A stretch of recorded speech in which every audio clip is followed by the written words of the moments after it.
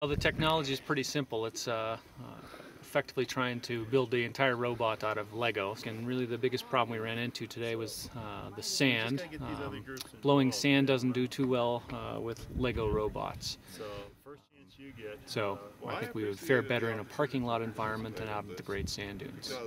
Because Do an alternate event, I guess, where we're solving the navigation task in a more uh, controlled environment to to define the beacon. Perhaps having a more controlled environment to get that task under uh, under control first, and then run it with uh, harsh terrain. What are the difficulties? This seems like it should be really easy. Don't throw anything.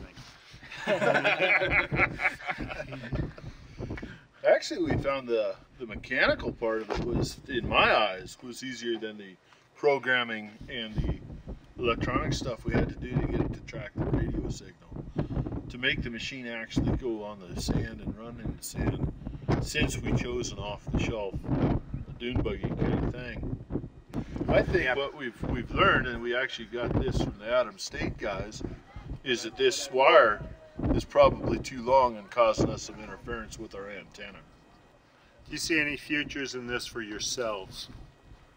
I think so. I certainly hope so. There's Extremely possibility. interested It's very more, cool stuff. more of this.